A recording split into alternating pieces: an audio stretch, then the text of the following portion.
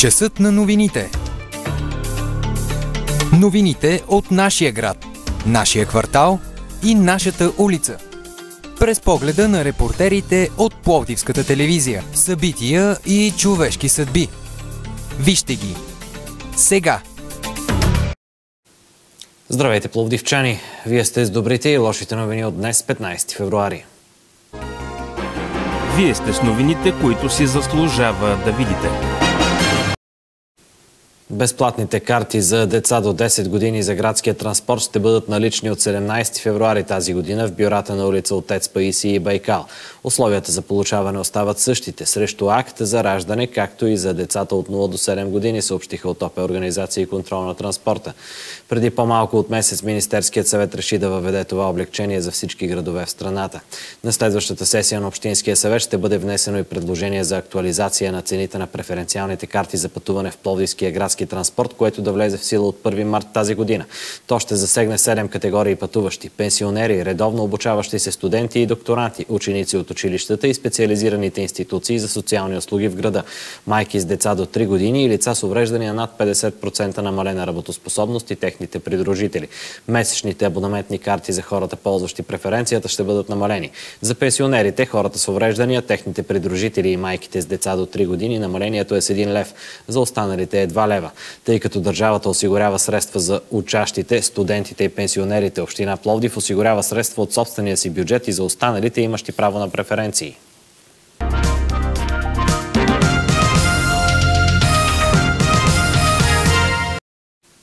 Постоянната комисия по заетост към областния съвет за развитие на област Пловдив на своя заседание утвърди държавния план прием за професионалните гимназии, профилираните гимназии и средните училища в областта за учебната 2023-2024 година. Заместник областният управител Даниела Николова, която председателства комисията очерта основните цели на план приема за настоящата година. Първата от тях е насочване на учениците към специалности, които ще им позволят успешно да се реализират на пазара на труда чрез увеличаване броя на учениците, приятите в професионалните гимназии, в професионални паралелки, в такива с STEM профили, както и в паралелки с професии, за които има потребност. Предвижда се през следващата учебна година в областта да се разкрият общо 236 паралелки, 153 професионални и 83 профилирани. Те са с 8 повече спрямо миналата година, като в тях ще се обучават близо 6000 ученици и с над 300 деца повече спрямо предходната.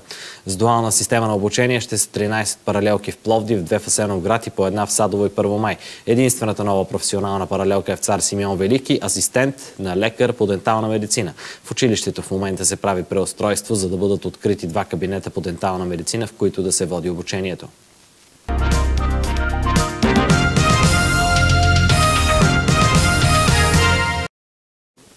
За трета поредна година администрацията на Пловдивски район Тракия ще окаже пълно съдействие на нуждаещите се и заинтересовани лица при набавянето, изготвянето и съгласуването на необходимата документация в съответствие с изискванията на програмата за осигуряването на достъпна жилищна среда за хората с увреждания. Тя е по компонент К1 на Националната програма за достъпна жилищна среда и лична мобилност 2023 година към Министерството на труда и социалната политика. По този компонент предложенията ще се подават отново от Сдруженията на собствениците в етажната собственост в многофамилни жилищни сгради, блокове, в които има хора с трайни увреждания, придвижващи се с инвалидни колички. Предходните две години по програмата на територията на района бяха монтирани 8 електрически подемни платформи, с които се преодолява разликата в нивата между входната и стълбишната площадка пред асансьора, представляваща затруднение и сериозно предизвикателство за хората с увреждания, както и за техните близки.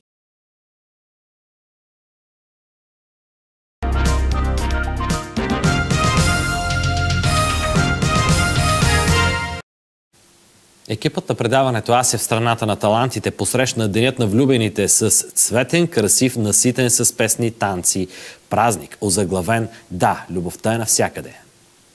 В истински шоу-спектакъл се превърна празникът, организиран от Ася в страната на талантите, в който се включиха таланти от различни школи на военен клуб Пловдив, както и други талантливи приятели на предаването. Водещата Аси Антонова представи на сцената в военен клуб Пловдив над 200 деца и млади таланти, като всяко едно изпълнение беше под формата на музикална валентинка. Празника се включиха много и различни вокални изпълнители и танцови формации, балетни школи, ансамбъл Тракийска Българска младост, към средно училище Любен Каравелов, танцова школа Елит, Ера Балет, Балет Електра, Клуб Звезда, Ера Балет Виктори, Music Space Center, Нумти, Добрин Петков и други. И всички тези деца и млади хора успяха да развълнуват, разчувстват публиката в залата. Защото го направиха с красотата на чистата детска енергия, влюбени в това, с което се занимават. А нали именно в това е тайната – да сме влюбени в това, което правим, за да я има любовта в живота ни, навсякъде, за всички участници в празника.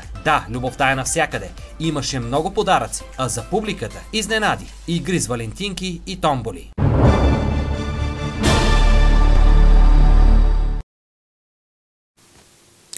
Полицията в Раковски е задържана авторка на грабеж над възрастна пенсионерка.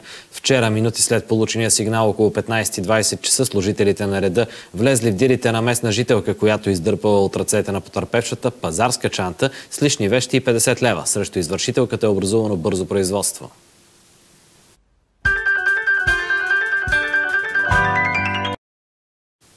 Хонконгската фирма Airfly Taxi идва в Пловдив с интересна оферта. Ще ли да ни решат проблема с транспортния хаос? Резултат от строителството около Централна гара.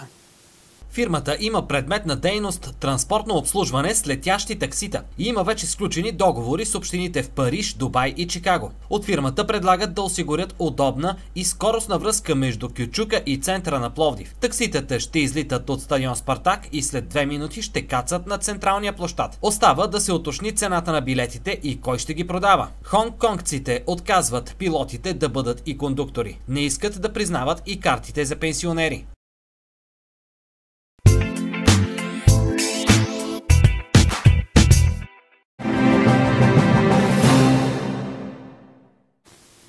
След няколко годишно прекъсване, престижните награди Златен Ритон отново са част от съпътстващата програма на Винария 2023. Международните дегустации на вина и спиртни напитки се организират от Съюза на енолозите в България в партньорство с Университета по хранителни технологии и Международен панир Пловдив. Призорите от конкурса ще станат известни на официална церемония на 22 февруари от 16.30 в Конгресния център. Експертно жури от 14 топ енолози ще оценява пробите, които се съревновават на международните международната специализирана изложба Винария 2023. Тя ще се проведе от 21 до 25 февруари 2023 в Международен панир Пловдив. В дегустационните комисии участват утвърдени винени експерти, членове на Съюза на енолозите в България, преподаватели от Университета по хранителни технологии и специалисти в областта на виното.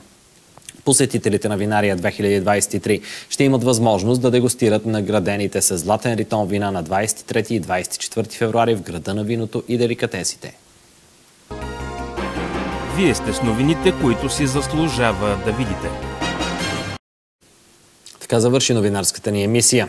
Може да гледате програмата ни в интернет, излъчваме в Twitch TV, както и на страницата ни в Facebook. Следете и канала ни в YouTube по TV Тракия. Актуалната ни програма може да намерите в нашия сайт по TV EU.